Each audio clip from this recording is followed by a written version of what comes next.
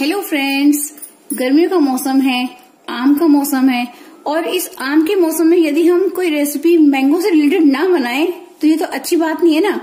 तो फ्रेंड्स आज हम आम की एक रेसिपी को, जो कि आम रेसिपी है, उसको कुछ खास बनाने जा रहे हैं। बहुत डिलीशियस बहुत न्यूट्रिशियस और बहुत ही मज़ेदार बनाने जा रहे हैं। आज रेसिपी हम मैंगो शेक टाइप की बनाएँगे, लेकिन उससे थोड़ा अच्छा टेस्ट लेकर आएँगे और बहुत अच्छा उसमें टेस्ट करने वाले हैं। तो नमस्कार दोस्तों, मेरा नाम है अनुभव कपिल। अपने चैनल में आप सबका बहुत बहुत स्वागत करती हूँ। तो आइए फ्रेंड्स आज इस आम की आम रेसिपी को किस तरह से हम खास बना रहे हैं, उसके इंग्रेडिएंट्स पहले देख लेते हैं। उसके लिए मैंने ये लिया है, एक आम मैंने काट लिया है, ये तो मैंने रफली ऐसे ही काट लिया है, और थोड़े से पीसेस आम के मैंने छोटे छोटे कट कर लिए हैं। ये गार्निश भी करने के लिए ज़रूरत पड़ेगी और थोड़े से नीचे डालने के लिए ज़रूरत पड़ेगी। ये थोड़े छोटे पीसेस हैं। ये लगभग एक गिलास मैंने दूध लिया है और ये लगभग चार चम्मच मैंने चीनी ली है।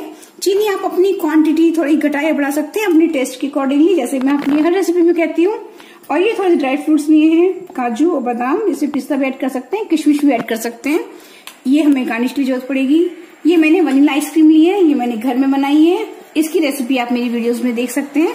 और कुछ लिए आइस क्यूब्स तो फ्रेंड्स इस बहुत अच्छी रेसिपी को बनाते हैं। इस इस रेसिपी को वैसे ही मैंगो मस्तानी के नाम से भी जानते हैं। ये पुणे की एक खास रेसिपी है।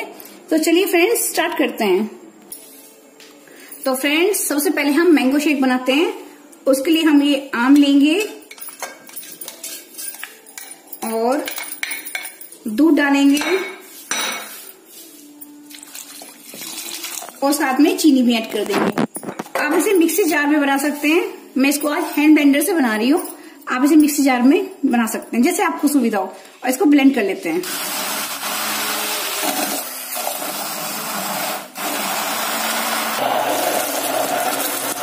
देखिए, ये बड़ा अच्छा हमारा मैंगो शेक बन गया है।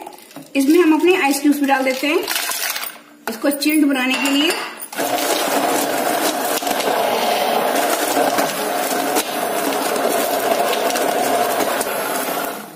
बस देखिए फ्रेंड्स हमारा ये मैंगो शेक बनकर तैयार है।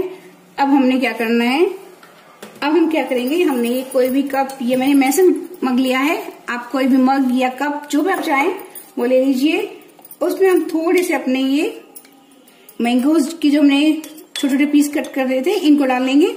इनके साथ फ्रेंड्स आप ग्रेप्स भी डाल सकते हैं स्ट्रॉबेरी भी डाल सकते हैं। वैसे मैं फ़िलहाल मैंगो डाल रही हूँ उसमें थोड़े से डाले हमने।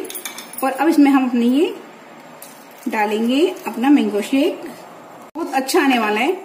और इसके ऊपर हम डालेंगे अपनी आइसक्रीम वैसे मैंने ये वनीला एसेंस वाली ली है। आप चाहें तो किसी और फ्लेवर की भी ले सकते यह मैंगो एसेंस वाली आइसक्रीम रहेगी इसमें अच्छी।